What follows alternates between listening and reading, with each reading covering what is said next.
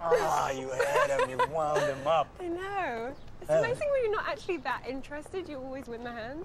Yeah, that's never really worked out that well for me. I mean, I found it worked very well. Yeah. You're gonna get a deal. That asshole is gonna give you a deal, babe. You might have to uh, compromise a little bit. but- Never. of course. Hey, we should do a bunch of these. What do you mean? Could do like the uh, the European series. I like that. Paris tapes, Prague sessions. The Berlin recordings. Yes. We could go all over Europe by rail. Take the whole gang. You know, Rachel, Malcolm, Steve.